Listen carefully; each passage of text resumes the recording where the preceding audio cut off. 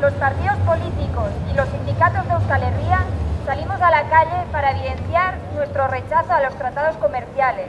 que amenazan la democracia, la protección de derechos laborales, medioambientales y de salud. Tratados que agravan las desigualdades entre hombres y mujeres en el acceso y control de bienes y recursos, que ponen en peligro la, la agricultura de calidad y a pequeña escala, las normas alimentarias y farmacéuticas, la imprescindible transición energética,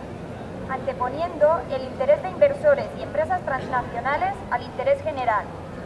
Una pequeña muestra de ciudadanas realizamos en Iruña, Gasteiz, Bilbo y Donosti estos simbólicos mosaicos representando el rechazo que miles de ciudadanas vascas han expresado al TTIP,